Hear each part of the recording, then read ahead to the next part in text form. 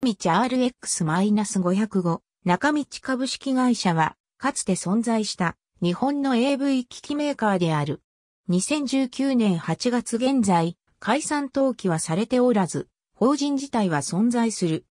1948年創業。かつては東京証券取引所第2部に上場していた中堅メーカーだった。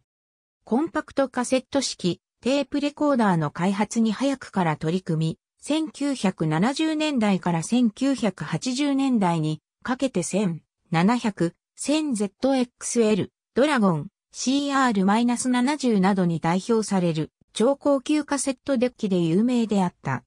RX-505 及び RX-202 のように味マスを全く狂わさずに安定して再生するためにヘッドではなく再生テープのハーフ自体をそのまま反転させるオートリバース機構を採用したカセットデッキなど大変ユニークな機種も存在した。さらにレクサス LS400、ブガッティ EB110 の純正カーオーディオにも採用された。当社の製品の大多数はアナログオーディオ関連のハイエンド製品で占めていたため、1990年代に入ると CD の普及に対応できず、消費者向けハイエンド製品では苦戦を強いられた。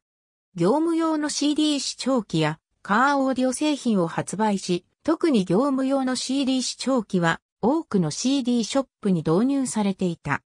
しかし、バブル景気の崩壊以後経営難に苦しみ、1997年には、香港の投資ファンドである、ザグランデホールディングズリミテッド参加となるが、その後も経営状況は改善せず、2002年2月19日に民事再生法の適用を申請して倒産した。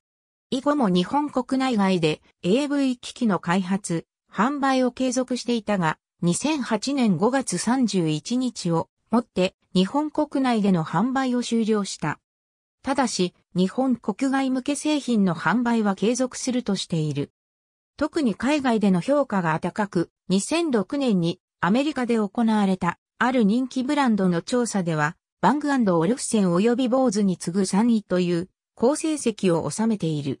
代表取締役社長であった中道二郎は1998年8月に中道を退社し、新会社を設立。ニロ中道というブランドを立ち上げ、高級プリメインアンプを販売している。東京都渋谷区東2の23の3グランデビル。ありがとうございます。